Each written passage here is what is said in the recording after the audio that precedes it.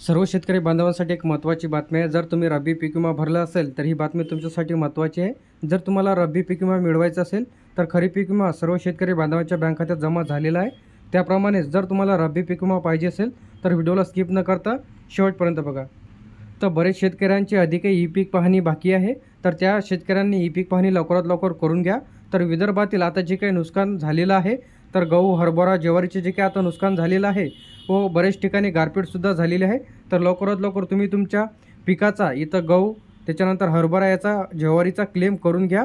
तर तुम्हाला त्याची तक्रार नोंदवायची आहे. क्रॉप इन्शुरन्सची ॲप्लिकेशन घेऊन तुम्हाला ही जी तक्रार आहे इथं नोंदवायची आहे.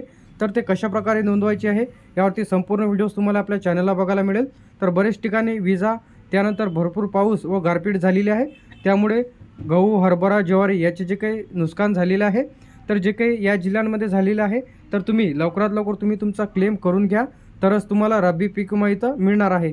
तर खरीप पीक विमा सोयाबीन कापूस तूर याचा शेतकऱ्यांच्या बँक खात्यामध्ये जमा झालेला आहे.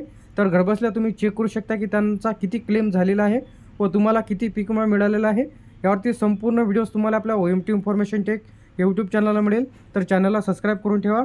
तर ई पीक पाहणी कशाप्रकारे करायची आहे तर रब्बी पिकाची ई पीक पाहणीसुद्धा सुरू झालेली आहे. तर लवकरात लवकर तुम्ही जर ई पीक पाहणी केली नाही तर तुम्हाला पीक विमा त्याचप्रमाणे नुकसान भरपाई अतिदृष्टी गारपीट असे जे काही भरपाई आहे ते कोणत्याही प्रकारची इथं भरपाई मिळणार नाही.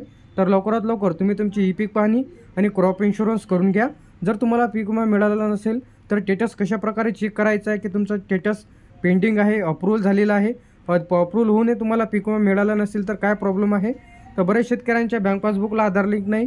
त्यामुळे सुद्धा त्यांचा पीक विमा पावणे दोन लाख शेतकऱ्यांचा अधिकही बाकी आहे. त्याबद्दल सर्व अपडेट्स तुम्हाला आपल्या चॅनलला बघायला मिळेल. तर आपल्या O T information tech YouTube चॅनलला सबस्क्राईब करून ठेवा. तर अशाच प्रकारचे नवीन व्हिडिओज आणि नवीन अपडेट्स पाहण्यासाठी थँक्यू